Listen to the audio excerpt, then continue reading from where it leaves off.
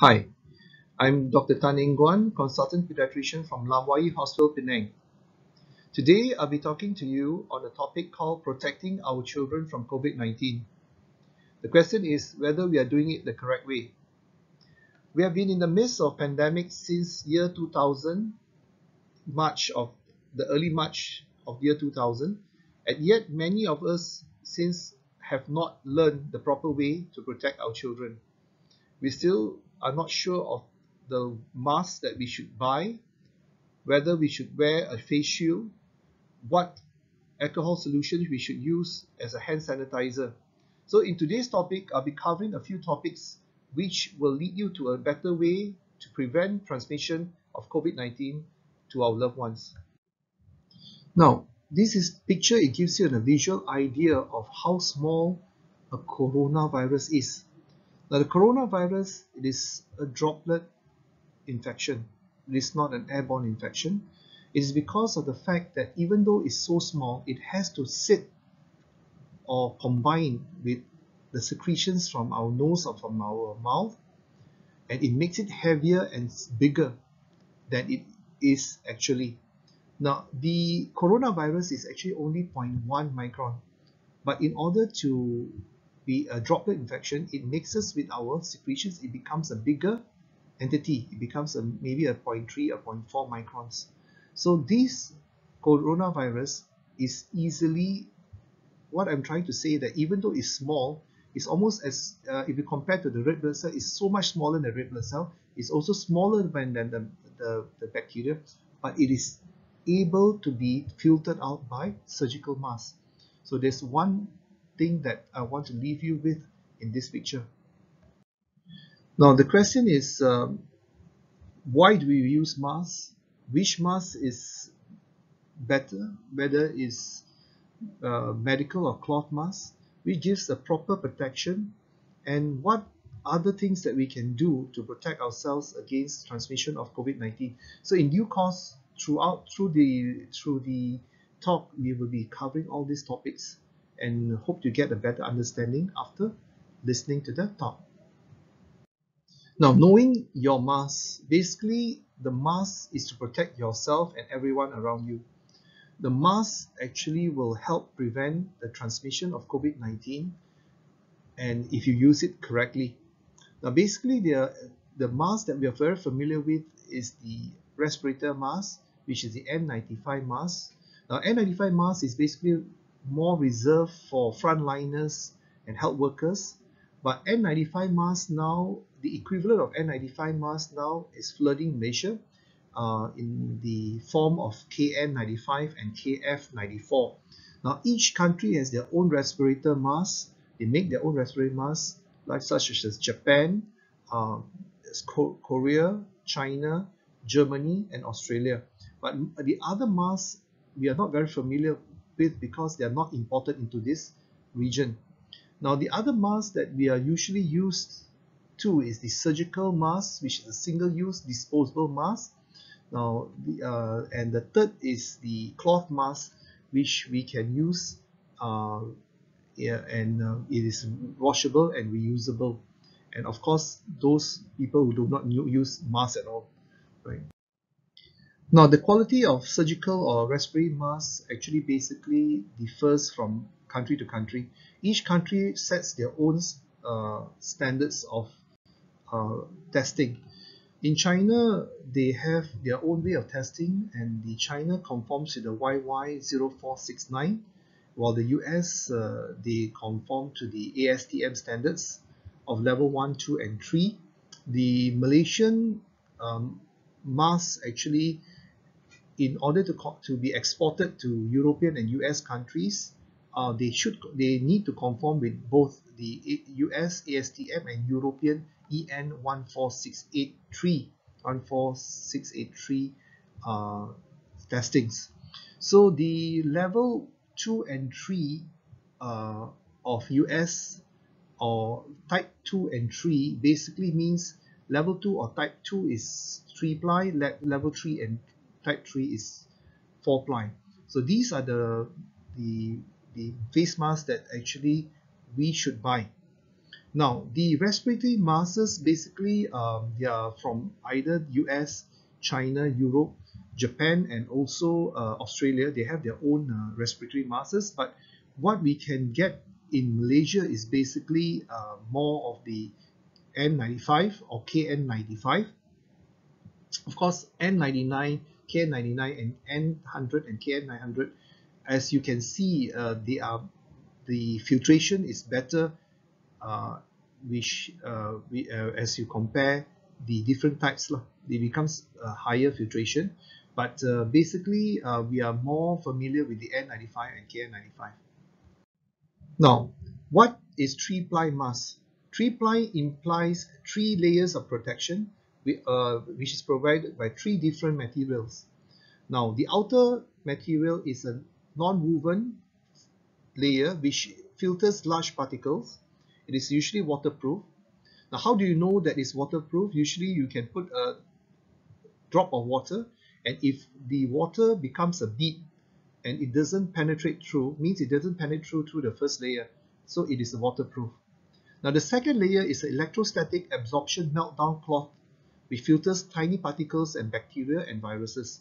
Now how do you know that this is not just plain paper and it's a meltblown cloth? you can use a lighter and light it up. If it's a paper, it will burn easily.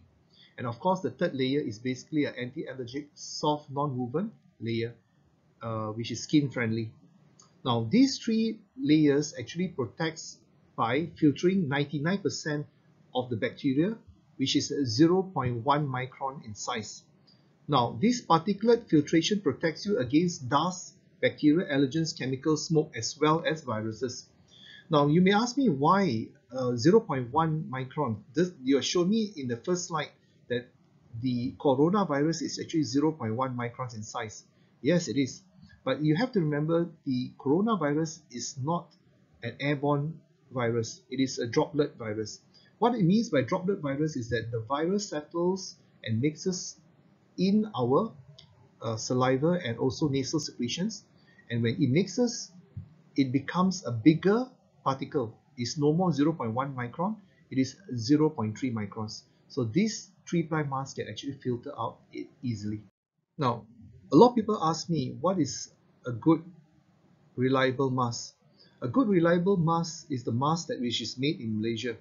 Now, a lot of people know that uh, most of the raw materials that goes into making a mask is actually imported from China but no doubt the, the Malaysian masks are more reliable and more trustworthy is because they conform to many standards set by either European or US uh, testing uh, testing facilities. Now, as, as you see at the top part of the box is glass-free fibers. Now, glass-free fibers, when you breathe in glass-free fibers, in certain which is uh, which is there in certain uh, surgical masks, which is it is not good it will cause trauma to the lung.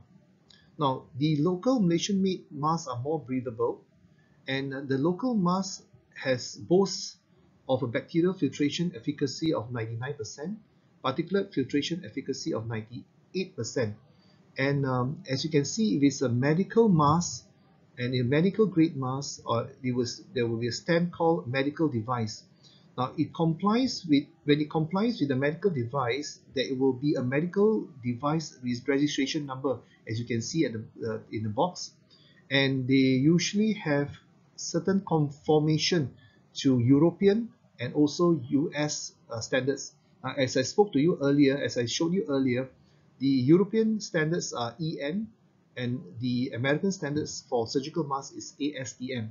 Now the level 2 or level 2R are basically denotes that this mask can filter viruses. So this is called a three-ply mask. Now, what are the differences between N95, K95 and K94? Now, these are respiratory masks. They are not surgical masks. They uh, have better seal. And if you note that uh, the 3M N95 is the pioneer of all the respirator masks and uh, this uh, head loop N3 3M is uh, N95 is head loop whereas the K94 and uh, KN95 is ear loop. Now these are basically KN95 and KN94s are basically the answer to 3M made by different countries, KN95 from China, KF94 from Korea. Now, now a lot of people ask me whether KN95 can compete with N95, which is better, or is it same or superior? Now the question is, we can answer it through quality and testing. Now the N95 and KN95 on paper shows a filter performance of 95%, more than 95% for both, with using a flow rate of 85 liters per minute. Now they noted that the in KN95 they actually do a leakage test by placing the mask onto the face to see whether it's leakage test is actually very negligible. It's less than 8%. Whereas in N95 uh, they don't do that and the inhalation resistance is almost the same. So on paper, they look pretty good and pretty alike. Now N95 is approved by NIOSH as a respirator, whereas KN95 have not achieved NIOSH approval, so it's only used as a face mask. Now a lot of people say that KN95 is equivalent to N95. Now, because of N95 is only in, in, in the States, it's only given to frontliners like doctors and nurses, the local people do not get N95. So a lot of people resort in importing cheap products of KN95 from China. They've basically furthered the KN95 into the US market. Now noted that uh, the US do not note they note that a lot of the KN95s do not actually uh, the quality does not conform to to the uh, to them as a respirator. A lot of them say the filtration is may not be 95%. Some say it's only about 88%. Some say 40%. So it fails to actually live up to their standards of a respirator. So a lot of them are fakes and they flooded the US market. So US has stopped uh, the imports of KN95 into the United States. So that is the reason why recently we see very cheap KN95 uh, in our Malaysian shores through uh, the marketing platforms of Lazada and uh, Shopee. So these they can be as cheap as a dollar to uh, three dollars, so uh, three ringgit. Sorry. So um, you got to be a bit careful when you choose KN95 because they may not be the real deal. Now, are all fabric and cloth masks constructed the same? Are they superior? Which is more superior? Now, of course, a three-ply fabric mask is the best uh, compared to a single layer type of cloth mask. Now, the three-ply fabric face mask is constructed by using tightly woven breathable fabric. Now, these fabrics comes in three layers as in uh, three ply implies. The first layer is actually a semi-waterproof layer which prevents uh, secretions seeping through.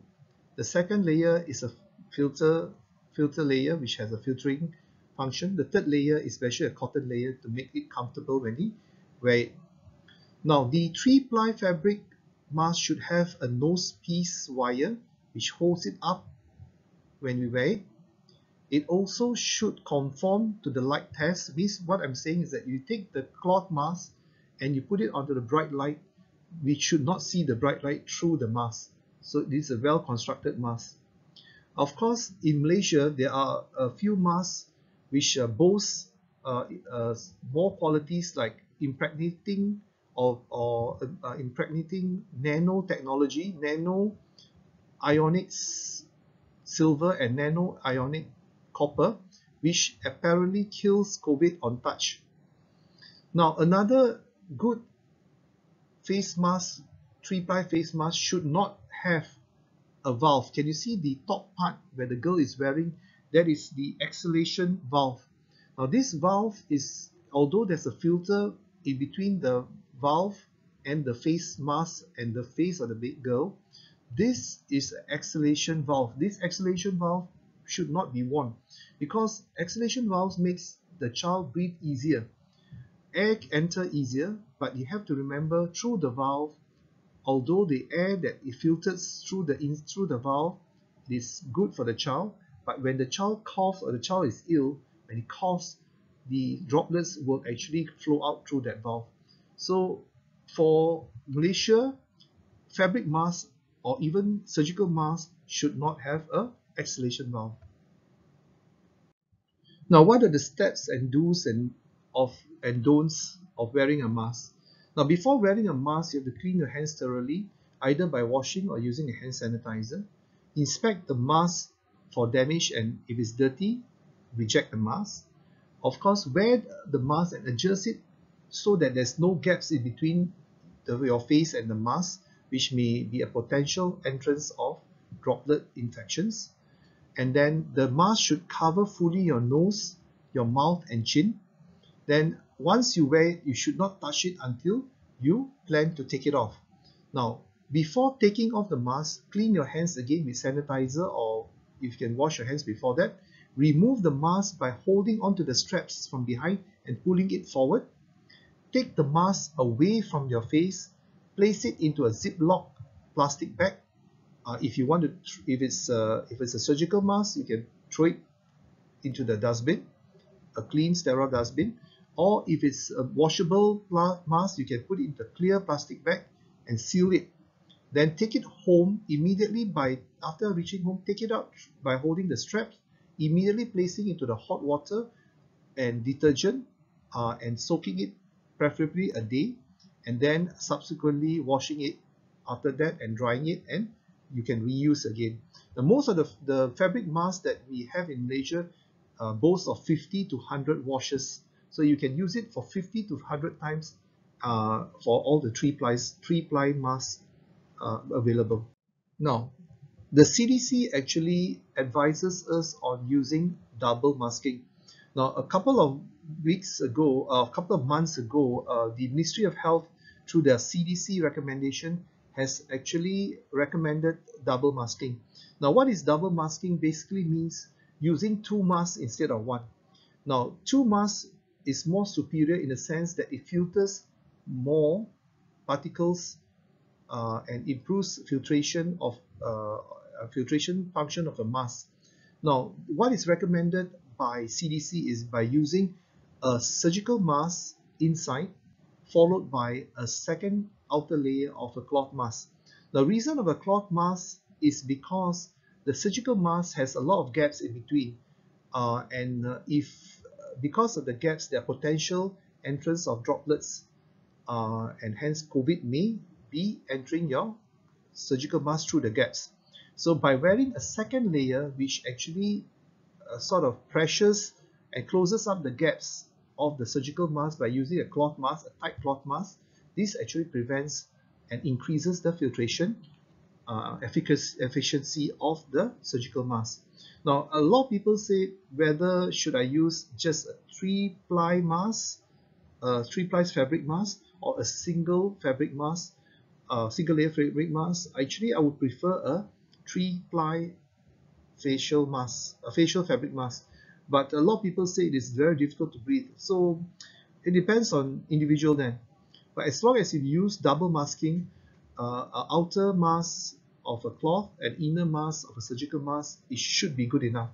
Now CDC actually strongly discourage the use of two surgical masks as a double masking or two cloth masks as a double masking or using N95 with another mask either a surgical mask or a cloth mask. So what is good is a surgical mask and a and a plus a layer of fabric mask outside. Now a lot of my patients complain that their children do not like to wear masks. I think as adults, how do we actually encourage them to wear the mask is actually by wearing the mask, our mask properly ourselves as parents. So we should wear the mask together with the child. So the child will look at us as a mentor. The secondly is that to let the child be in control means don't force the child to wear the mask. Let the child be, perhaps use the mask on her doll. When he uses the the mask on the doll, ultimately being the caregiver of the doll, the child will be compelled to use the mask themselves. Now, another thing is that if your child is finds it difficult to wear a surgical mask, don't force them to get immediately use a surgical mask. What you can do as parent, you can ask, let the child use a single layer cloth mask first with a face shield.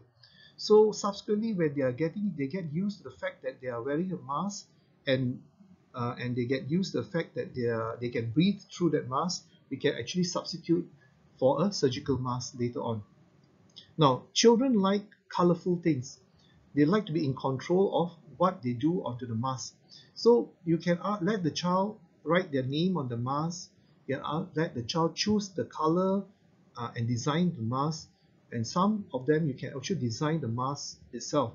So a surgical mask can be designed and colored by the child. So these would actually let the child be more receptive of wearing a mask. Hi, what is a good face shield? Now a good face shield basically is made of transparent material which is rigid but not breakable.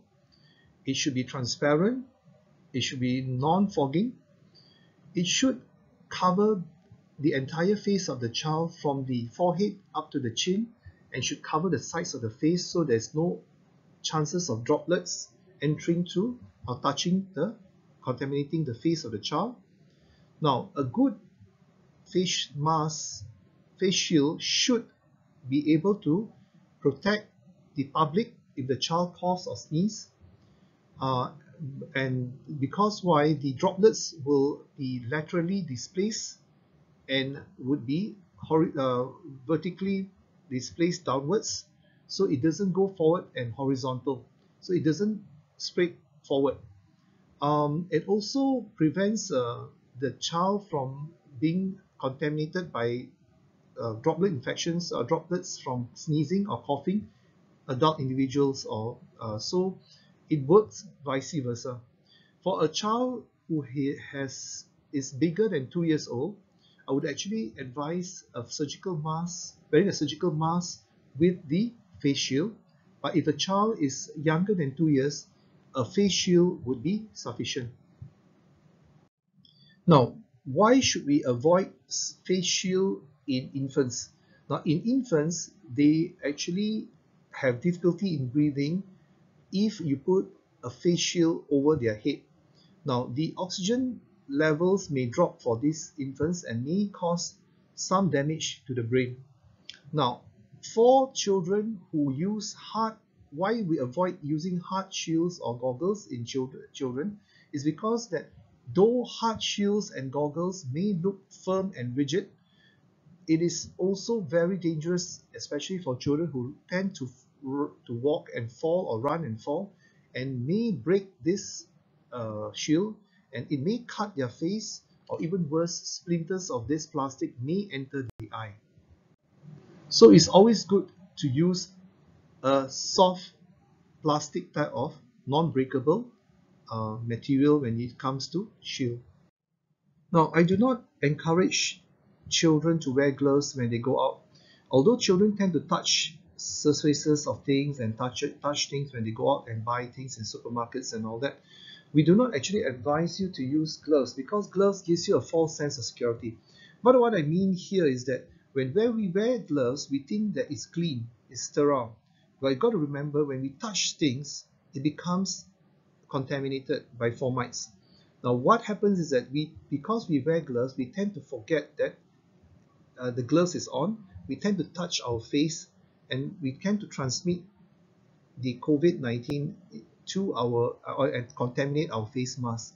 Now the second thing is that when we wear gloves, we do not use hand sanitizers as often if we think because of the false sense of security now, you think that the gloves is protecting our fingers and hands, but you've got to remember that that is not that what we want to be protected. What we want to protect is that the fingers should not touch the nose. So the third thing is that when we wear gloves, we when we use hand sanitizers, there are nooks and crannies in the gloves that do not touch or the surfaces do not touch is not touched by the uh, hand sanitizers. So we tend to use more hand sanitizers when we wear gloves uh, and to clean the same surface if we use uh, hand sanitizers by using bare hands. Second thing is that when we use hand sanitizers in the gloves, it doesn't clean all the nooks and crannies on all the surfaces of the gloves. So some COVID uh, virus may settle into these areas and when we are not careful we can touch and then transmit it into our face mask.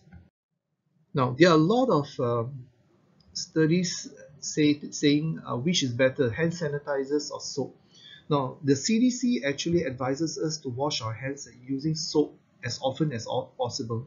If by using a proper hand washing technique of 20 seconds we actually kill most of the COVID uh, viruses. Now when you wash dry and rinse and scrub uh, by, by using water and soap, you actually kill off most of the COVID uh, COVID uh, viruses. Now, is there a is there a superior or is it better to use an antibacterial soap such as uh, perhaps uh, uh, Dettol or just any soap? No, in actual fact, the surfactant in the soap actually breaks the the fatty layer of the virus cell wall. So it doesn't mean that it has to have a uh, antibacterial properties to be more useful. So any soap is better than just water. Now we'll be talking next on sanitizers.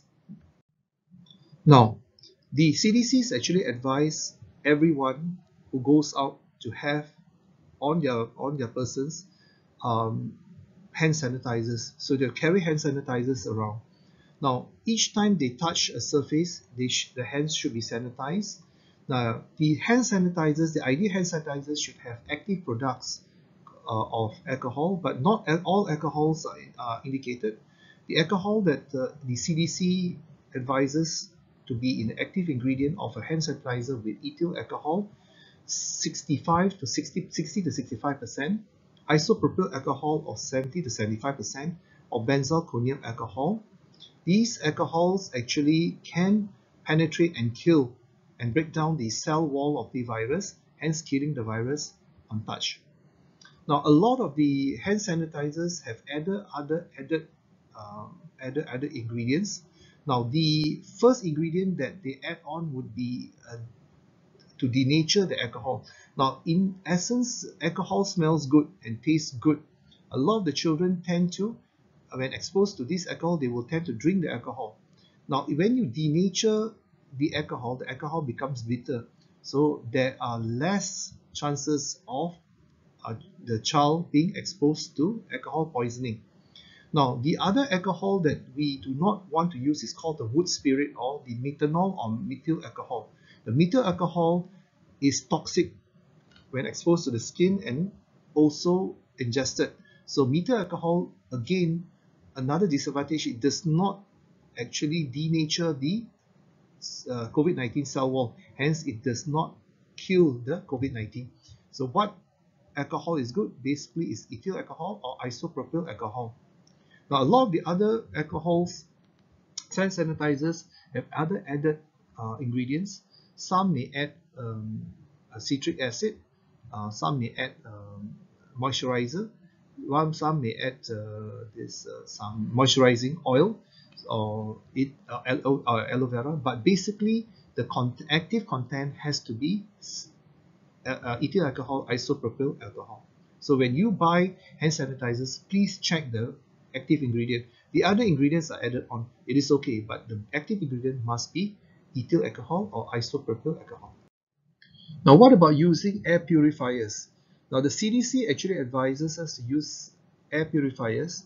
The air purifiers has a HEPA filter. The HEPA filter actually is very efficient in filtering out uh, particulates uh, which is uh, 0.3 microns in size. Now you have to remember that uh, the COVID-19 uh, uh, are basically a virus which is about roughly about 0.1 to 0.3 microns. Now these uh, HEPA filters can actually filter it out. Now CDC found that using uh, the HEPA filter or HEPA air purifier in schools, they actually reduce the incidence of COVID uh, transmission, transmission in schools. So we can advise you strongly to use HEPA filter purifiers either in schools, offices, and also our homes with or without UV light.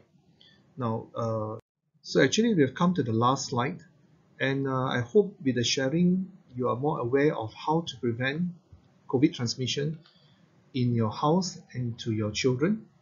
And I'd like to leave you with the last slide, uh, pictorial cartoon picture of what is the essence of prevention of coronavirus uh, and hence like to also to say uh, take care, stay safe and stay home. Till the next uh, YouTube or Facebook live, uh, bid you goodbye and stay safe.